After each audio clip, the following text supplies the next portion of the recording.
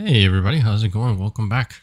In this video, we are going to take this clothing into Unreal Engine and make it work on a MetaHuman with Chaos Clothing. I know I already have a video about that, but this is kind of like an expanded version and it has new things, so maybe it can help um, all you people that send me comments saying like this didn't work, I'm having problems, so hopefully you can find some solutions in this video too. So let's get started.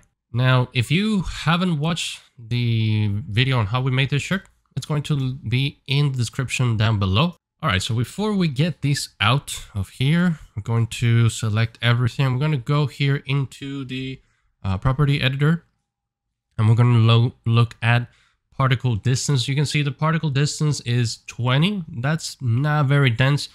This is the density of your mesh. The lower the number, the higher the density the more it's going to cost you performance wise when you are in Unreal. So make sure you, you know, get, get a good balance there.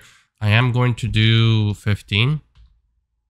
And then in thickness, uh, if I recall correctly, I think I have a thickness of 5. And then we just resim it. There you go. And that is pretty much it. So one of the things that we're going to do is we're going to go into File, export and you're going to click on USD. Use USD. You have Marvelous. Uh, there's no reason to use any of the others right now. So we're going to go into USD. So I'm going to call it tutorial shirt. Save it and you're going to get this pop-up menu. So here are some things you need to take into account. Uh, you're going to get the mesh out, the material. I mean, it depends if you have a particular material or not. That's fine. Select all patterns. Uh, you have to have unchecked select all avatars. I believe this is unchecked by default, but just in case, make sure these two are unchecked. Um, I'm going to do multiple objects and you're going to do thick. Remember to change this to thick. Unified UV coordinates, uh, that's fine. I don't mind the things are on top of each other. You can put this a little bit better. Once you open it in the editor, it's going to look like this, not like this. So it, this is more for texturing purposes the one that you're going to see in the weight mapping um, viewport is going to be this one right here. So if we keep going down, uh, you can select how many, uh, however many of these you want. You don't have to do them like me. Um, this is just, I, I, don't have any particular texture on this. Now, this is the important bit. You need to include garment simulation data. This is a must. If you don't check this, you're going to have problems. And then uh, remember scale, it has to be in centimeters, DAZ Studio, 100% and let's go. Click OK. It's going to take a few seconds just exporting everything. And now we can go into Unreal. Okay, here we are in Unreal. And one of the things that I recommend is that you download a MetaHuman to your project that has the um, size that you use for your simulation. So in, for instance, I used a male, tall, normal weight MetaHuman for this simulation. That means that in Unreal, I'm going to download a male, tall, normal weight MetaHuman to test this with. Otherwise, it's not going to work. So I'm just going to right click chaos. Uh, I'm sorry, chaos, not physics, cloth asset. I'm going to call it tutorial shirt number two. Press enter and double click. And you're going to get one of these. Now, uh, just like last time, the beauty of this is things are commented pretty well, so it's very easy to use. On the first one, we're going to click here and we're going to click these Okay, so I'm here in my uh, tutorial uh, shirt that I just exported. I'm going to click on the USD. Make sure you're clicking on the USD because uh, for some reason I, it has all files here. So I click on the USD, open it. It's going to think for a little bit and you will see it uh, popping up here on your viewport. And as you can see, uh, the 2D sim looks exactly like the 2D portion inside of Marvelous Designer. It has nothing to do with the UVs. UVs is just for texturing. Um, you can move it if you want to, we're not going to do any of that. I just want you guys to get a functioning clothing. And then we move on to transfer skin weights. For transfer skin weights, this is why I told you to get a metahuman um, before, so we can use it here as a source mesh. So I'm just going to click here, going to type M tall, and uh, now I have M tall normal weight body. So I'm going to click on this. It's going to take a second, and there it is male tall normal weight with no head. Pretty scary, but it works. So I'm just going to accept. Now we move on to the next one, which is the uh, advanced weight map distance. Now, One of the things that I was not doing correctly last time was that I was way mapping absolutely everything. This is not meant for you to sim every single point, only the points are going to be draped. So if you have a skirt, then you will just way map it until a certain point. It's almost the same as what it used to be um, with all uh, chaos cloth. If you ever use that, I, I only use it for like flags and stuff on the floor. So you would only weight map the things that you think that be the, that will have movement. So in this case, uh, let's just do the bottom of the shirt. So if you have like a skirt or something that, you know, it's draping a lot, then that would, that's a part that you, you should, you know, paint. Okay, right now with painting with an attribute value of one. And again, if you want to see a little bit more in depth of everything that I'm showing here, please go to my first video. I'm going to leave a link to that in the description down below if you are like brand new to this because I go in depth into most of these things.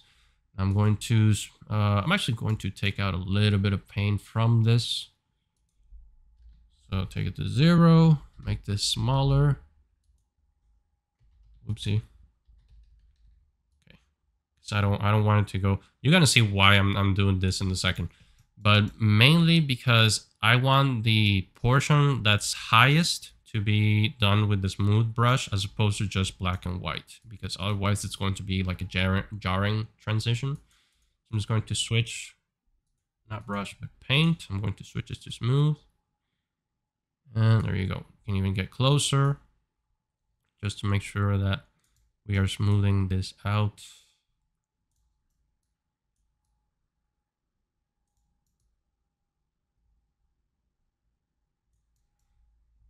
There you go. Okay, we don't we don't want that transition like from instant uh, black to white. We actually want something a little bit softer. And I may have to like retouch this once it's simulating. So we may have to come back. Um, this this is a process that, like I mentioned in the other video, it can be very simple or it can be super, super complex depending on uh, what you're trying to do. Okay, so I think we are done with this. Click accept. And now we move to all the way down the line and we need a physics asset. So in the physics portion, you're also going to look for something that is resembled to the metahuman you have. So in this case, male, tall, normal weight. There you go. And there is this thing that I didn't pay attention last time where you have the collision thickness. You can change it here, but you can also use the one that comes with Marvelous, uh, the, the one that you export out of Marvelous Designer. So in this case, if you want the Marvelous Designer, you would just turn this one, uh, just click this one and it turns blue. That means it's using the Marvelous Designer parameters. So let's see. Uh, we're going to talk about these in a second. I think we're good. So self-collision is something that we're going to do once we do uh, another garment that's going to be a little bit more complex. For now, let's just add the, here's our shirt. Let's just add a body to this. So male, tall, normal weight. There you go. As you can see, pretty cool. Uh, these buttons, last time I didn't pay attention to them. This is to pause the simulation and these are to reset. So if you reset it, it's going to do that every time.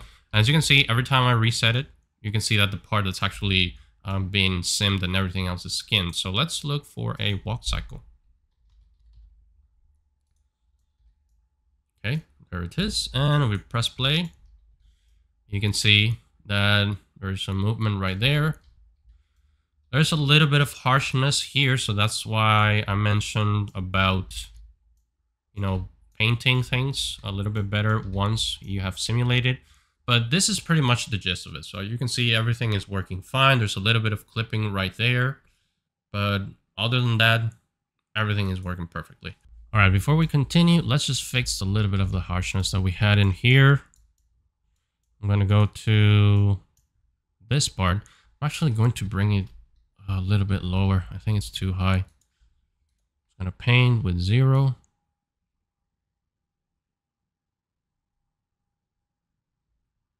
Get it as low as I can. I'm actually going to switch to 3D. There you go. So you can see I'm going to pause the simulation so things are a little bit faster. And I'm just going to some painting here.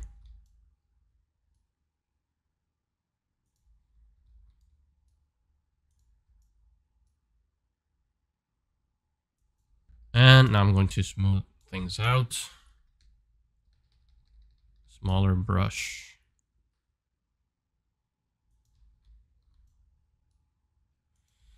Uh, sometimes I think it's a little bit better to just paint in 3D. Kind of like Substance Painter, where it's actually better to paint on 3D. All right, let's uh, reset. Let's see how it looks. A little bit better a little bit better. All right, another thing that you may need to look out for is the iterations and the thickness. So let's use the Marvelous Designer thickness, 0.55. Reset that and let's see how it does.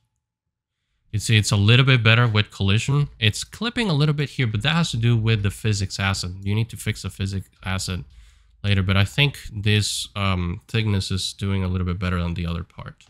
Now, the other thing that we need to change that I saw was changed in the garment from the talisman uh, example was the number of substeps. Uh, not the iteration, but the substeps. Uh, this was all cranked off to the max.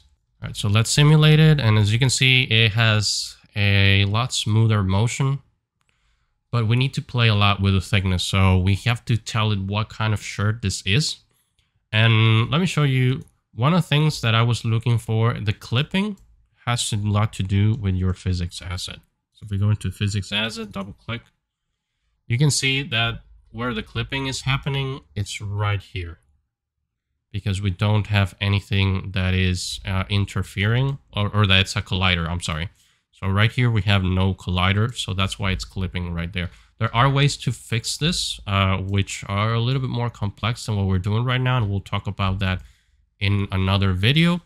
But for now, hopefully this this actually helps uh, you guys, because I know a lot of people were saying that the process didn't work, the shirt didn't um, skin correctly, or it wasn't simulating. Maybe some of the things that you see in this video will help out. One of the things that I actually did was uh, break this and right click and remove option pin. So that means one LED uh, less. Take a shot of this. Uh, try these new things. Let me know how it goes. In the next video about Chaos Clothing, we're going to do a more complex garment. And we're just going to fix some things related to the garment. We're going to look at self-collision and all that good stuff. So uh, make sure you stay around, leave a like, leave a comment. It really goes a long way to helping the channel. Share the video if you can. Thanks a lot to my patrons. They're all here on screen. You can join the Patreon and help out the channel if you have a little bit. If not, then remember just leaving a like in the comment helps a lot too. There's a Twitter if you follow follow me there. There's a Discord if you need some questions answered. And um, I'll see you in the next one.